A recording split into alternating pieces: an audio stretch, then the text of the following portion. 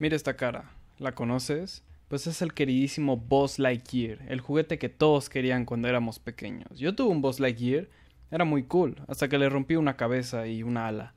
Pero, como quería decir, todos creo que hemos visto este juguete. Creo que hemos visto las películas de Toy Story. Si alguien no la ha visto, creo que no ha tenido infancia. Yo no tenía idea, en serio, no tenía idea que iba a salir un reboot de Boss Lightyear. Entonces, señoras y señores, les presento al Boss Lightyear. Al Boss. ok. ¿Qué te- no se ve mal, no se ve nada mal, pero... Pero, a ver, vamos a... Esto es caricaturesco, se ve bien. O sea, es... Es apto, es un juguete. Este es un tipo. Este es un... Ni siquiera tiene la barbilla como era, solo tiene un puntito. Parece que le picaron con un lápiz. Y... A ver, tenemos otras... Otras imágenes de Buzz Lightyear por aquí.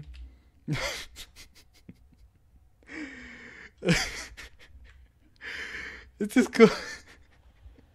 Es como si le subieran los gráficos a Toy Story. Esto se ve... eh, eh, Realmente...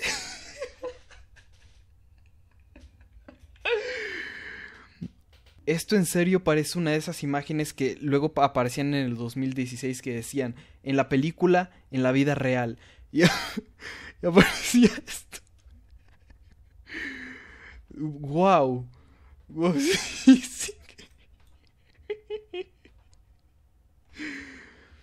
Oh, Dios, no puedo con esto.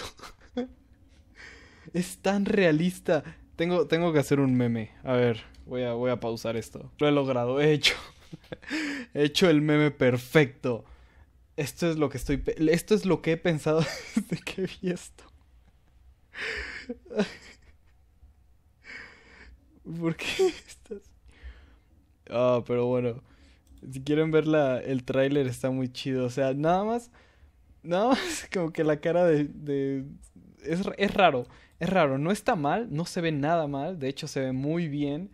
El traje y todo se ve muy bien, pero... Como digo, es... Es extraño pasar de... De esto...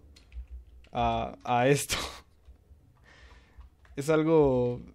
Es algo que no se, no se ve todos los días. Pero espero ver la película. De hecho, me, me gustó mucho el tráiler. Entonces espero ver que la película se vea bien y todo esto. Eh, no tengo nada malo que decir. Solo...